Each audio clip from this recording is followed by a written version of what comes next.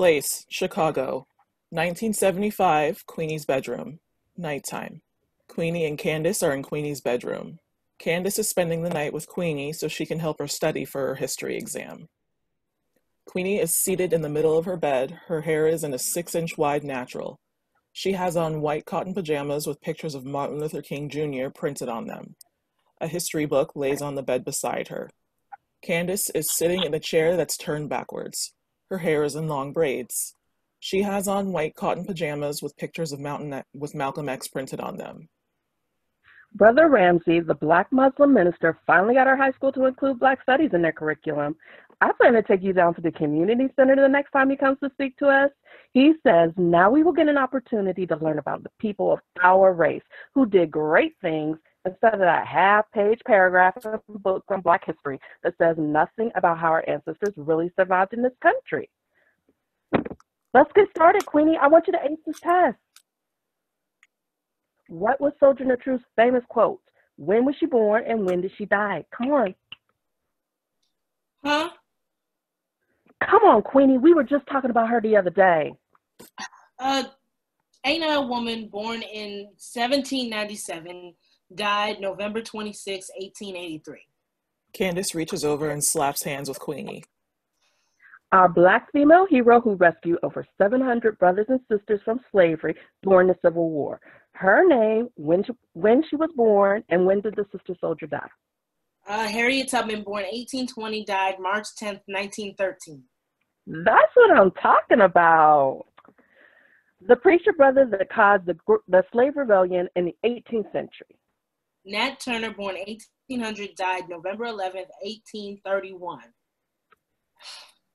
Why do I have to learn Black history? I already aced my American history test, Candace. Girl, white American history tells you little or nothing about who you are. It is written to tell the white man's history, not ours. I don't really see any differences. We all live in the same country, go to the same schools. What does it really matter? They are interrupted when the door slowly opens and Redbone peeps inside the room. His red hair is shaved around the sides, and a big, wide red afro sits on top of his head. Didn't I tell you to knock before in- opening my door? I'm sorry, I guess I forgot. Redbone climbs onto the bed beside her. Oh, where have you been? Hi, Candace. Where you get those pajamas? From the brothers selling clothes down the street. You see these pictures? They're of Malcolm X, one of the greatest Muslim leaders of this country. Really? They're neat. Mama took me over to Grandpa's house to see 7 Up. You know Aunt Auntie Lily, Uncle Joe, and 7 Up lives with Grandpa now? Yeah, Grandpa just got out the hospital. He needs someone to stay with him since he can't take care of himself. Grandpa let us come up to his room and watch some old movies about Black history. He told us they were they were classics back in the day. Grandpa let you guys in his room. He must really be feeling lonely. Redbone, what kind of movies were your grandfather showing you guys? He was showing us movies of black history and how this white dude over in Africa took care of the African people. They called him King of the Jungle. What white man was a king in Africa? In the movie Grandpa had us watch, this white dude was living in a, a jungle in Africa. Uh, Grandpa told us those Africans loved him. They didn't do nothing until he uh, until he told them what to do. All the animals loved him too. The animals over in Africa are wild. What was Grandpa showing you guys that made it look like some white dude had had them tamed? And what else did Grandpa have you to learn from those old movies while he sat in the background laughing? We learned how uh, Tarzan, that was his name. He lived in Africa and was the king of the jungle. Grandpa said he was there taking care of all the Africans. We saw lots of old movies of how Africans lived and how Tarzan took care of them. Grandpa told us lots of things about Black history we didn't know before. Redbone kicks off his shoes. He's wearing red socks that are matching his red shirt. He gets more comfortable on Queenie's bed and flips through her history book. Candace stands up. That's the kind of brainwashing the white man used on us back in the day. The same way he used the Bible to keep us thinking in a subservient mindset. Now, Candace, don't be knocking the Bible. Dr. Martin Luther King Jr. used that Bible to get us where we are today. Mama told me that. He sure did use it for us. Brother Ramsey told us when he talked to us at the community center that the white man used the Bible as a way to keep us humble and under his control. Dr. King turned around and used that same Bible the white man used to demean us, to expose white people's wrongs against us. That Bible sure exposed those lies he had been telling us. What else did you learn from your grandfather, boy? We learned how Tarzan took care of all the Africans so the lions and tigers wouldn't eat him up. I bet Grandpa was laughing his head off seeing how you two were sucking up what he was telling you. We were all laughing at them coming out of those straw huts they lived in. They hardly wore any clothes, had bones in their noses and plates stuck in their lips. they looked horrible. Uh, Tarzan lived in a house up in a tree. Have you seen him swing across the jungle on his tree rope? Uh, Grandpa told Aunt Lily and Mama how we were cracking up when those Africans and animals start running across the jungle when they heard Tarzan swinging between those trees, hollering his head off. Boy, could he holler. Did it ever occur to you that those old movies you guys were watching were made to make black people look inferior to white people? They used those films to concrete in our minds the belief that we were not much better than the Africans in those Tarzan movies. This is how lies get into your brain and make you stupid. Those movies were filmed to make us look stupid. Uh, Grandpa didn't tell us they were made to make us look stupid. He never let us in his room before. And we were happy to be in there seeing all those old fashioned things we've never seen before, like that big old jukebox with all those old time records in it. He said nobody sang songs like them anymore. He had these old movies he let us watch with him. You should have seen Tarzan running through the jungle with his knife on his side. When he didn't run to run, he had his big elephant he rode on. I, I thought he would fall off its back. It was so big. he had monkeys riding on his shoulders. Grandpa said those monkeys and Africans were his friends. Who do you think brought all those Africans over to this country? Brought them where? Redbone hugs his sister's history book. You girls don't know nothing about your history. What do you mean we don't know nothing? Next thing you will be telling us is that your grandfather told you Tarzan brought Africans to this country. He did. Dumb girls. Grandpa said Tarzan had them Africans build a big boat and put all them brothers in it. It could hold. And told them he was he was taking them to America to pick cotton. Queenie, now do you see why it's important for you to learn your history? Your poor old grandfather was duped into believing all kind of lies because the white man was the only one telling him his history, girl. You're right. Grandpa is funny like that. He used to have me looking at looking at lots of old movies too when mom had him watching me.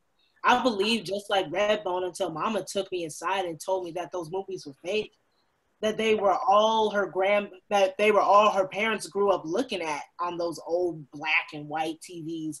She said that movies made of black people back then were cartoons making them look ugly and dumb. I'm beginning to see how our people were brainwashed into seeing themselves in the way white people wanted us to be seen. Maybe you're right. I do need to learn my own history. We got our first lesson in black history today. Grandpa was having fun with you in 7 Up, probably lonely confined in that room by himself. He doesn't believe those movies are real. See how black men were conned into processing their hair without a lye, wanting to be like white people instead of loving their own hair like you and Redbone now? Your grandfather was probably one of them when he had hair on his head. all that Angela Davis natural you're sporting. Mama told me back in the day when they made those black and white movies, very few, if any, people like our grandfather had been to Africa. And even those who knew the movies were fake didn't know how Africans lived in Africa. Just like you in 7 Up, they thought the way those filmmakers portrayed Africans was really how all Africans live. You can bet they weren't making movies that showed how some white people lived before they became civilized troglodytes. What's troglodytes? People who lived in caves. White people lived in caves before they became so called civilized. Don't you know that? Tarzan is make believe, Redbone. That white man probably has never been to Africa. No one white man sure as heck was over in Africa taking care of Africans. Those filmmakers made up Tarzan, just like they made up blackface cartoons to demean black, pe- black people back in the day. They wanted to make black people looking at those films believe one white man had that much power over black people, even in Africa. Now I understand what Brother Ramsey means when he says white people purposely twisted our history to make us look inferior to them. It made them feel it was okay to mistreat us, is what Brother Ramsey says. Nah, it ain't make believe. Grandpa told us Tarzan brought them Africans over here just after King Kong came to this country looking for his wife. Grandpa told you what? Mm-hmm. Tarzan did bring those African brothers over here just like Grandpa said. And don't you know who King Kong is? Y'all don't know nothing about your history? He came over looking for his wife. Grandpa says white men took her back to America. They had to leave her the first time they came because King Kong had taken her. Your grandfather's teaching your brother the same lies he was taught to believe by white people who wanted to continue to depict us as inferior to them so that we couldn't rival them in any way. That's why they're always talking about it's our first time for winning or doing anything great. What they really are saying is that it's the first time they allowed us to compete against them. Your grandpa and other voices age back in the day looked at those movies not realizing that they had been filmed to entertain their audience at black people's expense. The black people believed, like everyone else, that those Africans were destitute. They had no one to explain to them how those movies were used to belittle our race of people. I'm going to tell Grandpa as soon as I see him not to be showing films like that to little black kids like that about our history. Candace, you're right. I need to learn my history. It didn't seem important before hearing my brother and realizing he believes what grandpa told him. I'm beginning to understand what happened to cause my grandpa and others his, of his age to think the way that they do, even about the color of their skin. I know not all do, but those that do can influence how younger kids like Redbone and Seven Up think.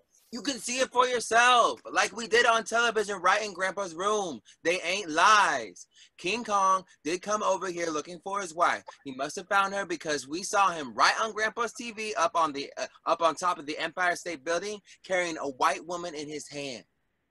A white woman. Uh-huh. Queenie's bedroom door opens, and only the audience sees a person dressed in a King Kong suit enter the room with a white doll in his hand.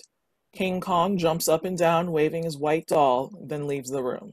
When those airplanes flying in the sky came and shot him down, King Kong fell on the ground so hard he bust the concrete wide open.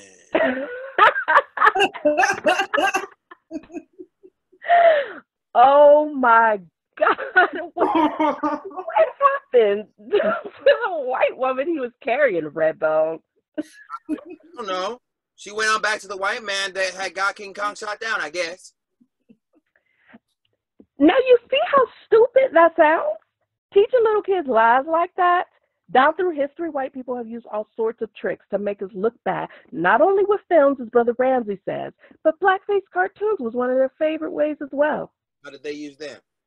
White people here in America seeing those movies believe they have to protect the helpless white woman from the terrifying black man desperate to have her, making it okay to hang black men. A black man, a, a black kid named Emmett Till was killed because he was said to have whistled at a white woman. Movies like King Kong incite that kind of behavior against black people, Redbone. Candace takes a seat on the bed where Redbone sits.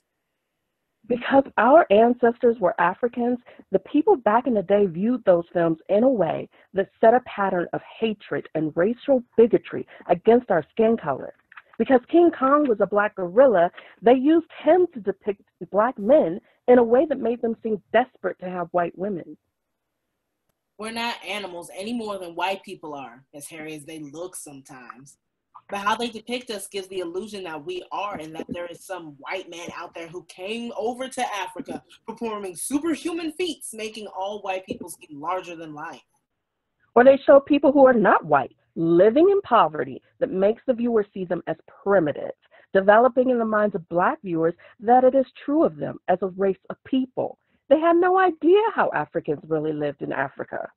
I don't understand. Those movies made Africans look like they were two steps short of being little more than the animals they lived among. It was a cruel way to depict an entire race of people, especially people who knew nothing about the country they were from. We have to learn to be proud of who we are.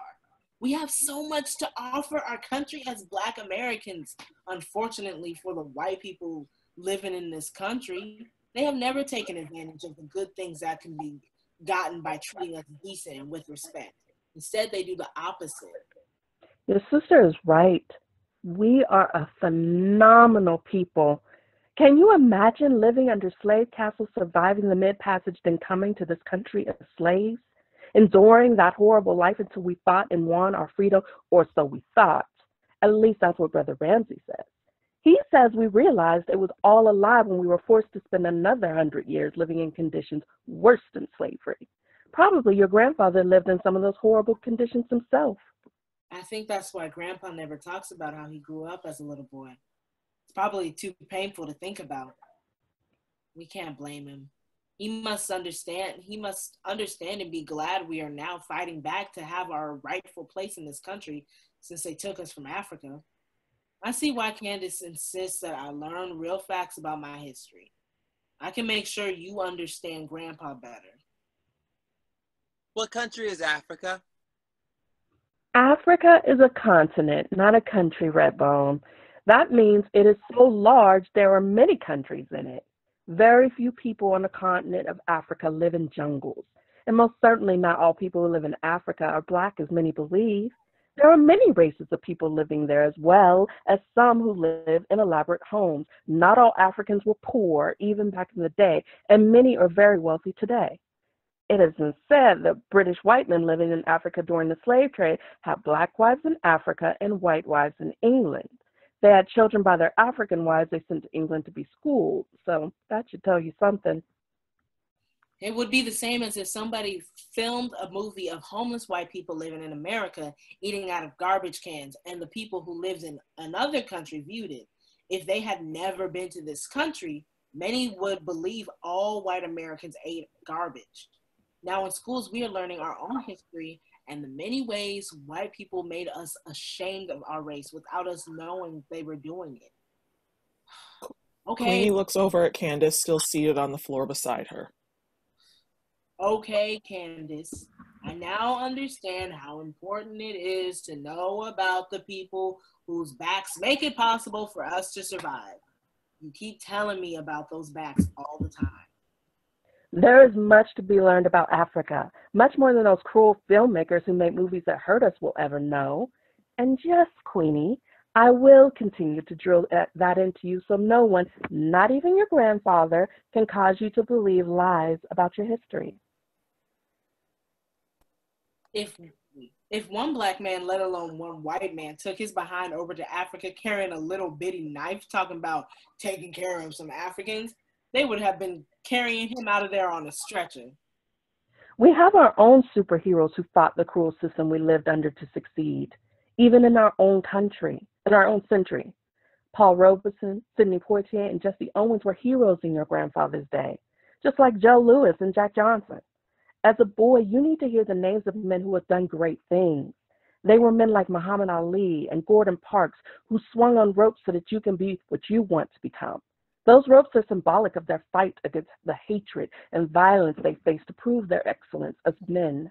Make no mistake about it, many lost their lives doing so. We're now learning that those types of movies Grandpa watched as a boy, and now have you guys watching about superhero characters back in his day, were all white superheroes. That gave the impression to many viewers that white people are superhuman above any other race on the planet when they are not, Redbone. Candace pulled him close to her as she sat beside him on Queenie's bed. Tarzan wasn't king of the jungle? He didn't bring slaves over here? Tarzan was the king of nothing, boy. He's a made up character. No white man came and took Africans from Africa and brought them to this country to pick cotton if the truth be told, Africans from Africa captured other Africans and sold them to the British slave. To other British Africans? Slaves. Why would they do that? Rezo, back in the 16th, 17th, and 18th century, Africans were captured and brought to this country by slave traders who took them on ships from slave castles. They were sold to slave traders by Africans who came into their villages and captured them when they had tribal wars. The slave traders asked if they could buy the Africans they had captured in return for whatever the Africans wanted. The Africans sold some of the Africans they had captured to the slave traders. If the Africans had not agreed to the sale, the slave traders tried to take them without permission, the Africans would have been fighting back and too many would have, would have been killed. If that had happened, the slave traders wouldn't have been able to get enough slaves to sell. It was after the Africans sold them slaves that it gave the slave traders an opportunity to come and start taking all the people they could steal, even Africans they weren't supposed to be sold into slavery. You know how it is if you have a bag of candy and someone asks you for some? Well, you've given them two pieces of candy, but when you're not looking, they grab the whole bag. That's what happened to the Africans dealing with the slave traders. The slave traders got greedy and took all the Africans they could steal from them. Slave? They should never have given the slave traders one piece of candy. I mean, any of their people. That's sad having them under under those castles waiting to be sold. That's not good at all to sell your own people, even if you are mad at them. No, it wasn't a very smart thing to do because the captured people had to live in those prison castles, waiting for large slave ships with lots of white men on them, men who carried guns to shoot and kill the captive slaves if they tried to escape. They had to stay under those slave castles sometimes for months, waiting for the slave ships to come for them. By the time Africans started fighting the British to keep their people, our ancestors were already in slavery with no one from any other country to fight for them. And so that you know, King Kong is fictional too. That story gives a sad impression that all of all the male gorillas in Africa, the biggest and the blackest fell in love with a white boy. For real? For real, boy. Gorillas don't want to mate with any female other than their own kind. They're certainly not interested in mating or marrying no white woman. That's ridiculous. But Grandpa said Candace is over here helping me learn and understand my history for this test I'm taking tomorrow. But it has helped me understand how important it is to know your own history in a way that makes sense to you and gives you a sense of pride. Our grandpa was never given that opportunity. That's why I want you to learn about Black men doing great things. When I think of a woman I'm proud of, or other than the females in our family, I think of Angela Davis she must have gone through a lot of abuse from a lot of people hating to see her become a part of the Black Panther Party to fight against the bigotry and hatred that is dug so deep in this racist system. That says how small minded those haters are, but how much of a hero she was giving up, going up against that kind of system. Candace, I did listen to Stokely Carmichael and those other activists speak on racial injustices, although I didn't take them seriously. Yes, Queenie. Angela Davis took wings and flew beyond what most women of any race would dare to do at a time when racial tension was so explosive. I'm glad you are taking your, your history seriously now. The first thing we must let Redbone know is that King Kong didn't get shot off no Empire State Building. For real? He didn't get shot off the Empire State Building? No, he didn't. Even Superman is make believe? Made up just like the rest because all those hero characters back in the day were white people. Many people of our race grew up thinking of white people as superhuman. And that is not a good thing because no real human can do the things those characters are portrayed as doing, especially when they depict black people just the opposite.